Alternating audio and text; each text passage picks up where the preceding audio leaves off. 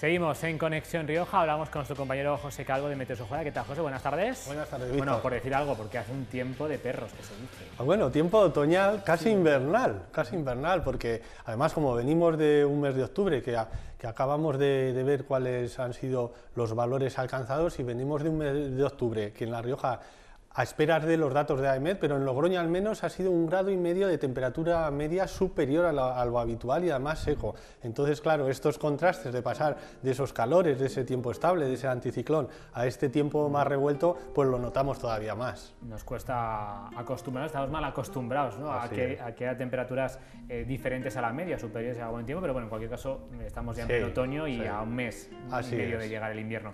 ¿Qué podemos eh, de resum- de resumir, qué podemos contar de esta semana? Pues vamos a empezar por cómo fue el famoso puente de todos los santos, con una borrasca que a lo mejor no la- los medios de comunicación yo creo que estaban un poco de, de puente, porque se formó una borrasca profunda, eh, de paso muy rápido por el Cantábrico, de nombre Amelie, que dejó vientos muy, muy fuertes, un temporal de olas, además se formó con un proceso de ciclogénesis, profundización muy rápida y muy intensa, lo que pasa es que pasó muy rápido y a pesar de estar activados todos los avisos rojos en la costa cantábrica, parece que pasó un poco de puntillas. Te he traído imágenes que aunque no sean de La Rioja, creo que merece la pena verlas. Estas imágenes son del mar Cantábrico, desde la localidad de Castrurdiales, que además fue una de las zonas más afectadas por el temporal. Puedes ver el tamaño de las olas. En la boya de Bilbao se alcanzaron 10 metros de ola. Y Uh, pues a- se mojó, ¿eh? Sí, aquí, aquí llegarían pues Nos encanta acercarnos a la orilla y es peligroso. Bueno, aquí porque hay un muro, pero en otros sitios es peligroso en un paseo marítimo acercarse cuando hay oleaje. Bueno, te advierto que yo aquí en este mismo muro pude ver ese mismo día a gente arrastrada de las que van a hacer eh, fotos y, y a lo mejor tener no se cuidado. esperan que venga la ola, pero ya te digo que, que tuvo bastante impacto y aunque re- realmente no estuviese tan avisado o no hubiésemos estado tan informados, pero fue una borrasca de las profundas y, y de las intensas. Aquí en La Rioja se notó especialmente el, el viento, ¿no? Se El habló mucho viento. Del, del- del- viento que tomó mucha velocidad. Exactamente, sobre todo en zonas de montaña. Aquí he preparado un gráfico de aproximadamente las velocidades que se alcanzaron, con 132 kilómetros por hora en Y ya ves que en zonas de montaña prácticamente rondaban esos 100 kilómetros por hora. Y en Logroño, la estación que tengo en casa marcó 96 kilómetros por hora, que son rachas bastante intensas. De hecho, las imágenes siguientes que te he traído son de árboles eh, rotos, eh, ramas caídas por esas, por esas fuertes rachas de viento, en esta, esta en concreto desde Villameriana y esta otra de Marcelino desde Nalda. Ramas gruesas que son peligrosos y de hecho creo que en la zona de Mallorca incluso hubo, también se rompió una palmera y sí. hubo un fallecimiento. Pero bueno, es un clásico ya del otoño y ya eh, damos paso a lo que ha sido un poquito la semana. Eh, ha seguido esa secuencia de borrascas y frentes atravesándonos eh, cada día. Cuando llegan los frentes tenemos estos cielos nubosos como los captados por la webcam de, de Logroño, nube, nubosidad de tipo bajo, chaparrones más o menos intenso. En concreto el de esta noche, de esta noche madrugada ha sido bastante intenso en la zona además de Logroño. Se han recogido 10 litros y tras el paso de los frentes pues se abre un poquito el cielo eh, vemos eh, hay momentos más despejados son frentes que al venir del oeste desde luego afectan más al occidente de la región y con los claros pues lo que empiezan a aparecer son estos arcoíris de los que he recibido multitud de imágenes que vamos a, ir viendo como esta de Rafa que veíamos desde la zona de La Rioja Alta esta otra de José Javier desde la zona de Cervera esta es de, desde Nájera, imagen de Alberto, coinciden con el chubasco cuando, cuando hay más intensidad. Esta, fíjate qué bonita, aunque un poco tétrica, pero es muy bonita porque tiene mucho colorido. Es, eh, esta imagen es de, de Laura, también ese arco iris embarcando el árbol. O esta otra también con esos contrastes que tienen ya, esos colores que tienen los viñedos. Yo creo que estamos en la semana de máxima expresión de colores.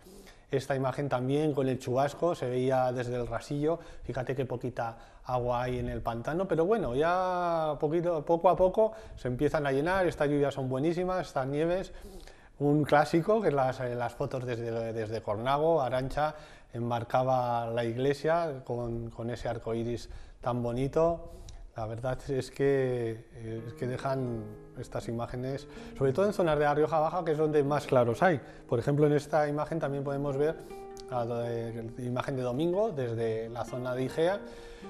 algunos de ellos son dobles, ya sabes que en los dobles los, los colores van al revés. Esta otra imagen es de Emilio, contrasta con esas nubes tan cargadas de agua, esos estratocúmulos, cumulonimbos también ha habido. Ha habido incluso algún fenómeno tormentoso localizado, pero que dejaban esos chaparrones y lo que te decía, estamos yo creo que en el punto máximo de inflexión de, de estos colores, este otoño, esta otoñada, con esas viñas que ya tienen esos colores tan rojos como esta imagen que nos manda Javi, o esto, los hayedos, que también están impresionantes, esta imagen es de Carmelo, desde los hayedos de, Tobía, yo creo que es una de las mejores zonas, junto a los de la Rioja Baja de Zarzosa, también son, son preciosos. Esta imagen es de Vicente, muy buen fotógrafo, del que vemos muchas, muchas fotografías, eh, esos contrastes. Además, los chopos también en el curso del río Ebro cambian mucho de color, esos pigmentos que se empiezan a ver. Los amarillos, los cobrizos, los rojos. La verdad que está precioso cuando vienes por la carretera y entras en, en el valle, ¿no? Y además que, como, curiosidad te digo que esos pigmentos siempre lo tienen las hojas. Lo que pasa es que ahora con la falta de sol, la clorofila, el pigmento verde... De, color, sino que eh, se pierde el verde y entonces... Exactamente, y entonces se, van, se ven más los carotenos y las antiocininas, que creo que son las que le dan ese color más rojizo, más morado. Esta imagen es de, de Nati, desde, desde Torrecilla, fíjate que bien se ve el curso del río Iregua y esas choperas enmarcando eh, esos ríos con esa nubosidad. Aquí en este caso es nubosidad tipo media, esos altoestratos, esos altocúmulos. Eh, la verdad es que ya te digo que ahora las imágenes de otoño son pero que muy bonitas. Y esta imagen es de Logroño, ya la de pasear por el Ebro, pues eh, podemos ver esa alfombra de, de, hojas, que además hay que tener cuidado porque... Te decir que son peligrosas porque te puedes escurrir si con, con, el agua y en zonas de conducción o como vayas con la bici tienes que tener mucho cuidado, Porque, porque son muy resbaladizas.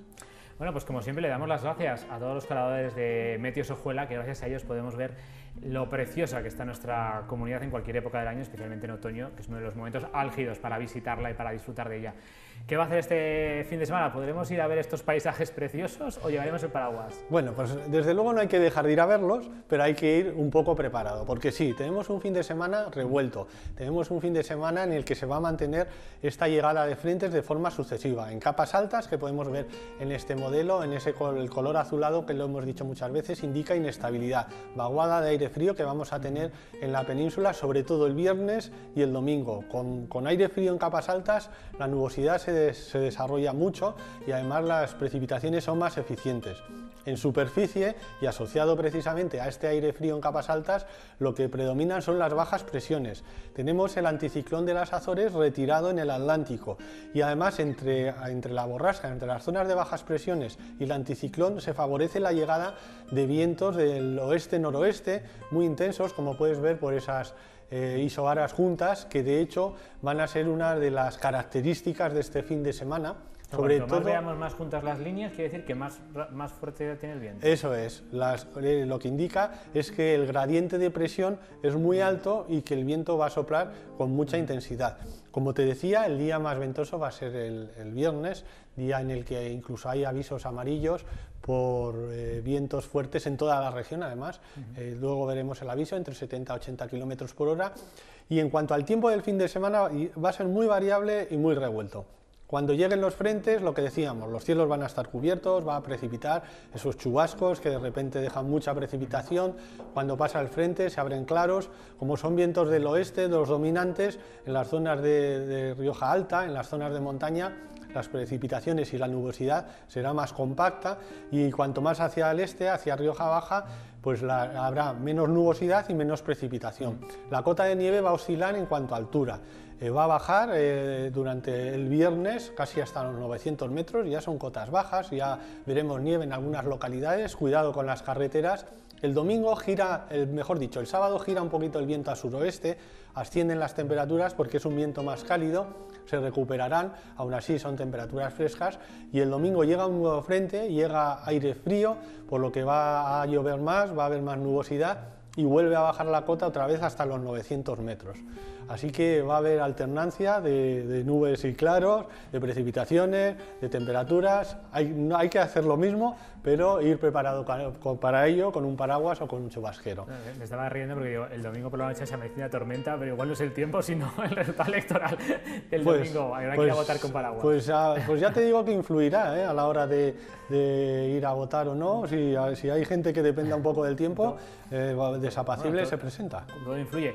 Lo que sí que es verdad hay que recordar esa alerta amarilla por vientos. Para el viernes. Cuidado para el viernes. Y si van ustedes por las carreteras de montaña, tengan cuidado y van prevenidos por si la nieve, el, frío les, eh, les sorprende. Pues ya saben, pueden seguir informados en el blog de nuestro compañero José Calvo, en Meteosojuela, donde pueden ver todos los días esa predicción del tiempo para nuestra comunidad y descubrir las curiosidades que nos depara el cielo riojano y aprender mucho también de meteorología que aprendemos cada semana aquí.